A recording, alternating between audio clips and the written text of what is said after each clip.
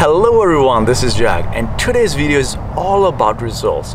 Previously, I made a video about 5 benefits of using hydrogen peroxide in your garden and on your plants. The link is in the description if you haven't watched that video.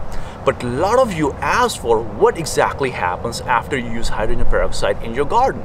Well, I would want to know and I didn't want to leave you guys out on what exactly happens. So it was about two months ago when I sprayed hydrogen peroxide on my plants and added hydrogen peroxide in my garden. And now I will show you what exactly happens. And this behind me is what happened.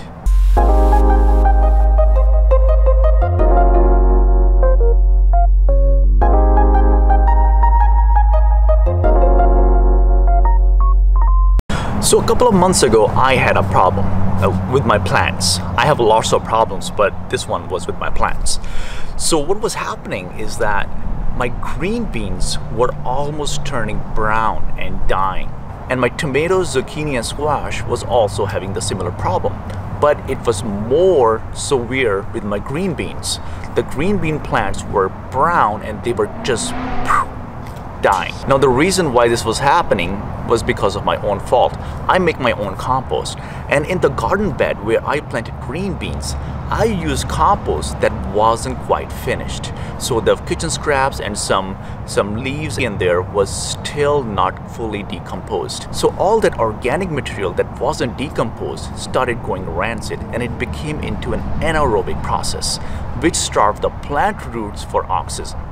So I did some research online and I found that hydrogen peroxide can actually fix this problem. So I made that video about 5 benefits of using hydrogen peroxide in your garden. I prepared a diluted solution of hydrogen peroxide to be sprayed on the foliage of plants and then I also prepared a very much concentrated solution of hydrogen peroxide which I added directly to the soil. And what happened? Well, it's right behind me. It's a jungle out here.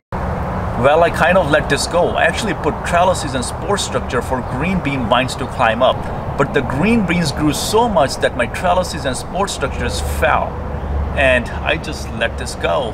I never had green beans grow this vigorously before. The makeup of hydrogen peroxide is H2O2 and it decomposes into water and oxygen. Hydrogen peroxide stops the anaerobic process, aerates the soil by providing extra oxygen to the soil. Hydrogen peroxide is non-toxic. It is approved by EPA to be used outdoors and its byproduct is water and it's available in grocery stores and pharmaceutical stores. To implement this solution, we need two solutions. We need a concentrated solution and a diluted solution. For concentrated solution, we need 1 to 1 ratio of 3% hydrogen peroxide to water, which is 1 liter of hydrogen peroxide to 1 liter of water. This can be added directly to the soil. For diluted solution, we need 1 teaspoon of hydrogen peroxide to 1 cup of water, which is 4 teaspoons of hydrogen peroxide to 1 liter of water. And this is for spraying directly on the foliage and leaves. Spray the solution directly and thoroughly on the leaves of the plants. This will protect the plants from bugs and insects. Add the concentrated solution directly to the ground around the plants. Make sure the solution does not get on the leaves, otherwise it will burn the plants. Few days after I added hydrogen peroxide to the soil, the leaves of the plant started to turn green. And the foliage turned out to be very healthy, dark green, and the plants became strong. And the yellowing and the browning of the leaves stopped, and the plants started to grow. My plants were not dying anymore Slowly and slowly, the plants recovered and they grew bigger and bigger. Finally, the plants became huge and the flowers started appearing on my plants. And then I started to get green beans. I got so many green beans that I've been eating green beans every other day and my tomatoes and zucchini have been going crazy as well. And I also have a lot of fruit growing. I got peaches, apricots and plums, so I'm really happy about that. One more thing, a dove laid eggs in my tool shed, so I also made a video about that. The link is in the description.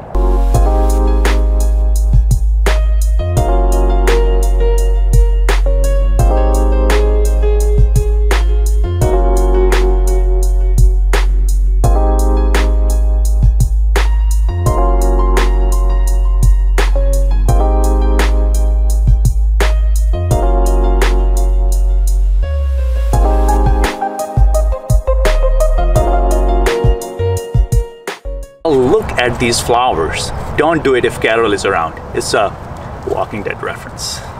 Now you might notice that there are some holes in the leaves of these plants and that's caused by cabbage worms. But the solution is very easy, BT spray. If you want to know more, the link is in the description.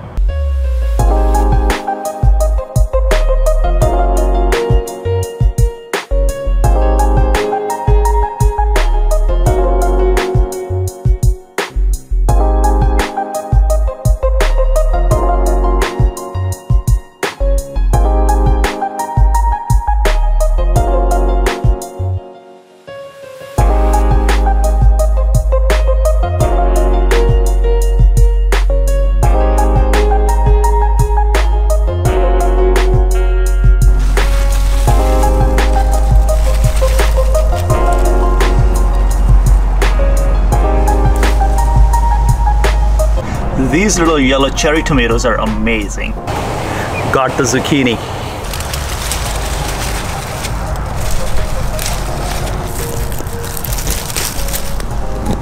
Wow, check this out. This is Christmas.